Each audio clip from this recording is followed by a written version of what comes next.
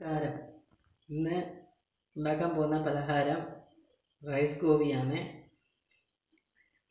അതിനാവശ്യമായ അരിപ്പൊടി എണ്ണ പച്ചമുളക് സവാള ഇഞ്ചി വെളുത്തുള്ളി രണ്ട് തക്കാളി പേസ്റ്റാക്കിയത്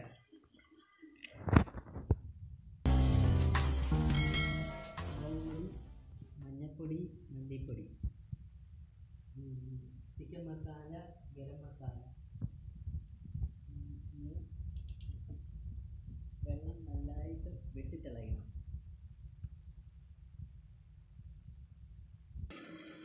വെള്ളം നല്ലതായിട്ട് വെട്ടിത്തിളയ്ക്കണം. വെട്ടിത്തിളച്ച് കഴിഞ്ഞ് ഒരു പാത്രം എടുത്ത് അതിലോട്ട് ഈ അരിപ്പൊടി ഇടണം.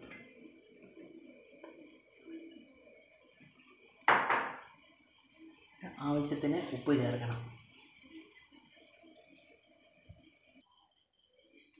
ആവശ്യത്തിന് വെള്ളം എടുത്തിട്ട് ഇത് നമ്മൾ ഇടിയപ്പത്തിനും പത്തിരിക്കും ഒക്കെ കുഴയ്ക്കുന്ന കൂട്ട് കുഴയ്ക്കണം.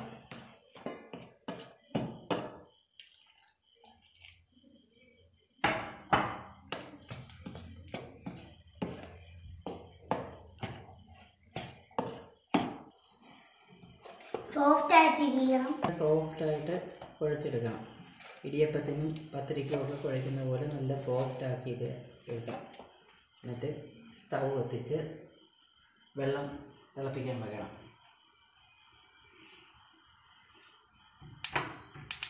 വെള്ളം തിളയ്ക്കുന്ന സമയം കൊണ്ട് നമുക്ക് ഉള്ളി വഴറ്റിയെടുക്കാം. എണ്ണ ഒരു കപ്പിനകത്ത് ഇച്ചിരി എണ്ണ എടുത്ത് പാൻ ചൂടാകുമ്പോൾ ഇതിലോട്ട് കുറച്ച് എണ്ണ അങ്ങോട്ട് ഒഴിക്കണം.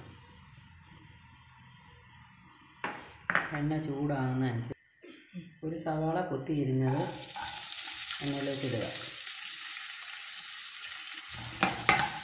ഇത് വഴുന്ന സമയം കൊണ്ട് നമുക്ക് തിളച്ച വെള്ളത്തിലോട്ട് ചെറിയ ബൗളാക്കിയിട്ട് നല്ല സോഫ്റ്റായിട്ട് റൗണ്ടാക്കി ചെറിയ ബോളുകളാക്കി ഉരുട്ടുക. എന്നിട്ട് പരത്തി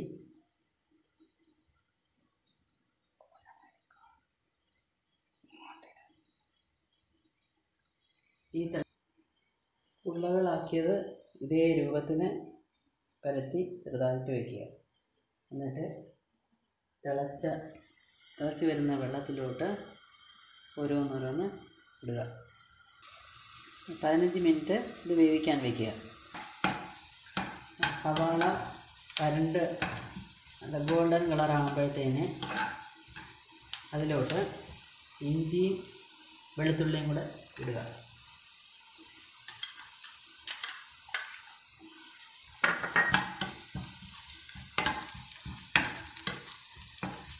അതിൽ പച്ച ചുവ മാറുന്നിടം വരെ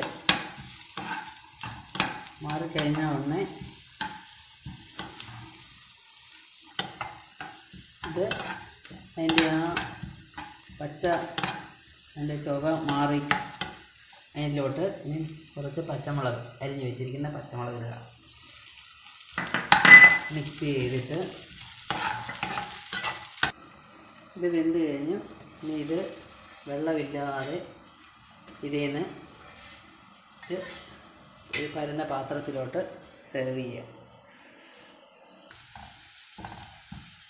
ഉള്ളി വഴറ്റി നീ അതിന് ആവശ്യമായ മുളക് പൊടി. ആവശ്യമായ മുളക് പൊടി മഞ്ഞൾപ്പൊടി മല്ലിപ്പൊടി. ആവശ്യത്തിന് ചിക്കൻ മസാലയും ഗരം മസാലയും ചേർക്കുക. എന്നിട്ട് ഇത് നന്നായിട്ട് ഇളക്കുക. നല്ല ഇതിൽ വരണ്ട് കഴിയുമ്പോൾ വരണ്ട് കഴിയുമ്പോൾ ഇതിലോട്ട് അടിച്ചു വെച്ചിരിക്കുന്ന തക്കാളി ഒഴിച്ച് ഒഴിക്കുക.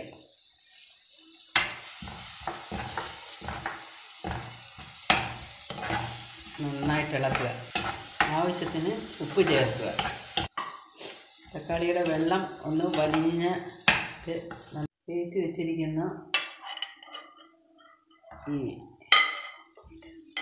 വേവിച്ച് വെച്ചിരിക്കുന്നത് നമുക്ക് അതിലോട്ട് മുളക് പിടിക്കുന്നത് വരെ ചെറുതായിട്ട് ഇളക്കി കൊടുക്കുക.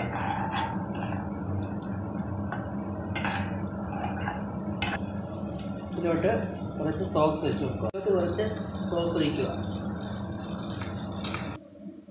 ഇത് നമ്മളൊരു പാത്രത്തിലോട്ട് മായ റൈസ് ഗോപി റെഡിയായിരിക്കുന്നു